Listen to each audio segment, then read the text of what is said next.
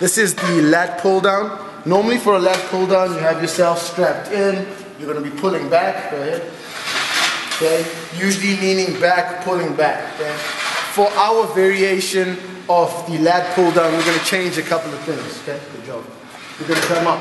First of all, we're going to take away the pad. Okay.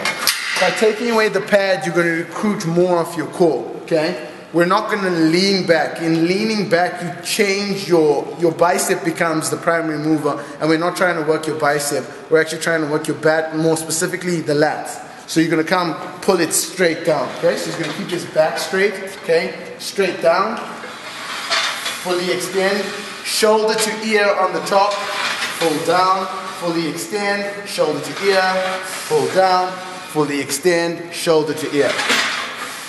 Good job.